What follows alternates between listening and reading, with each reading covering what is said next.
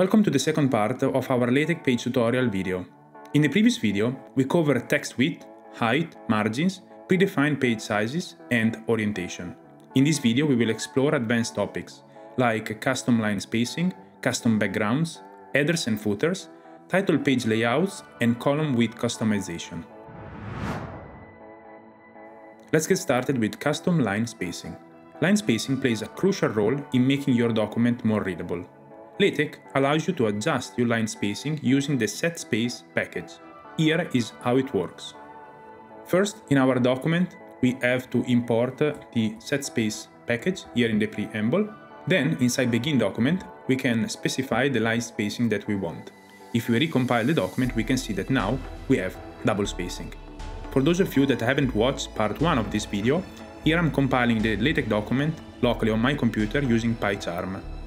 But you can follow along if you're using any other LaTeX compiler or any other LaTeX IDE to visualize your code. We are not limited to double spacing, but we can also have one and a half spacing. So we can just uh, change the command and recompile the document and we can see that uh, this changes.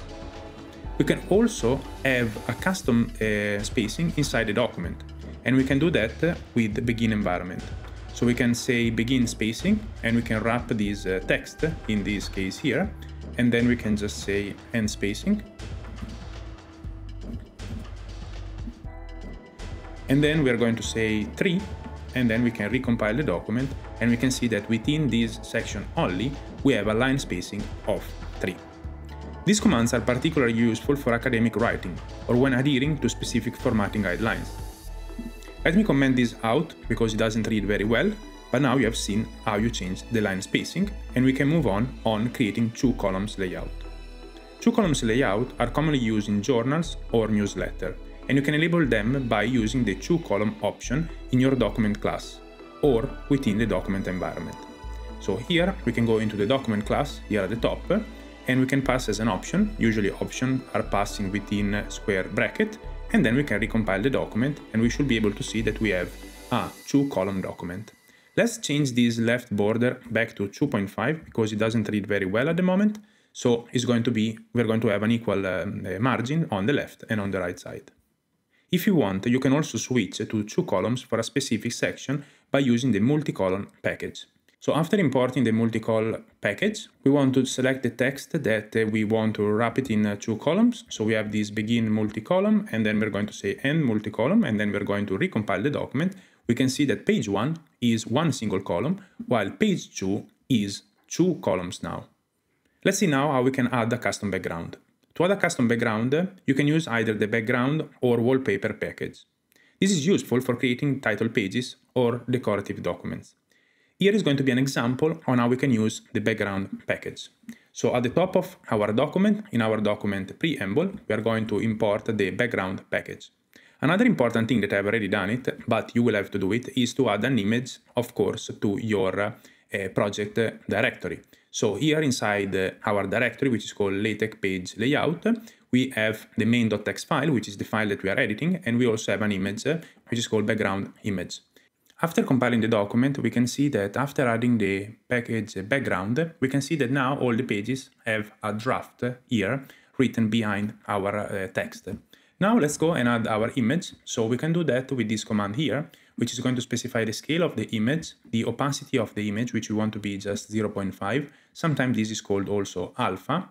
And basically is the level of transparency of the image. We're going to say angle 0. And then we want to have in the position, which is the current and page. So it's going to show in every eh, page of our document. And then finally, we are specifying the content of the background image, which is basically our image that we have selected with a paper width and paper height. So if we recompile the document, we should be able to see the background appearing in all the pages eh, and we can see that eh, it looks consistent across all the pages. And of course, you can change this opacity to make it more prominent or less, more, less transparent or more transparent based on your needs. LaTeX also provides powerful tool for customizing headers and footer. The fancy header package is one of the most popular options, and let's see how we can use it in our document.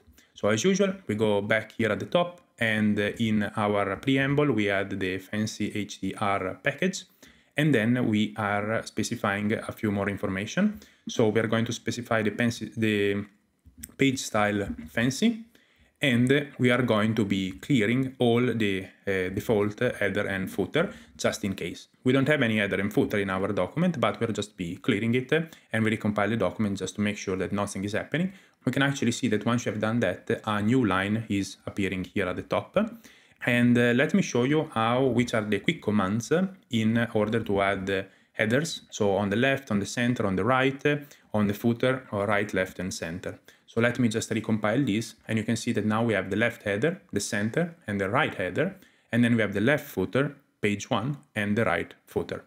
Page one is also a nice addition that I wanted to add into this video and we can show the page number. In order to do that programmatically, we can use this command, which is page and then the page. And then of course in page two, we're going to have page two. But this command here, we can use it uh, wherever we want in our footer. So we can also add it, for instance, to the left top in the um, header. So for instance, we can have left header 2 because it's page 2 and left header 1. I have another video specifically about page numbering, so I'm not going to cover everything in this video here. Sometimes you may want the title or cover page to have a different layout from the rest of the document. Here is how you can achieve it using the title page environment. So you have to go inside the here, begin document, and then we're going to add this code here, which is the begin title page environment. So a begin title page, we are going to be centering it. Let me recompile it so you can see. We're going to add a vertical space, and then we're going to have the huge, the document title, and then we're going to have subtitle or author information, and then we're going to have a vertical field. In here, we could have also include graphics, uh, for instance, and then here we could specify like the width of the image, which could be 0.5 text width. And then we can pass our background image. If you want to add a graphic, we need to use the graphicx package. So just select the one with the end, with the X at the end, graphicx here. And then we should be able to see our image here in our title page. And then you can choose, like for instance, you don't want to have this uh, V fill, but for instance, you want to have uh, a simple vertical space and then underneath here we can just have this v fill so it's just going to be filling the rest of the space so the image is going to be now closer to the subtitle but then we have to go of course in a new line because we want to have it underneath so this is how you can uh, change the title page and this create a standalone uh, title page with custom spacing images and text alignment in this video we cover advanced page layout techniques in latex including custom line spacing two column layout adding backgrounds creating unique title pages, and customizing headers and footer. These tools will help you create polished professional documents tailored to your needs. Don't forget to like, subscribe, and leave your question in the comments. See you in the next tutorial.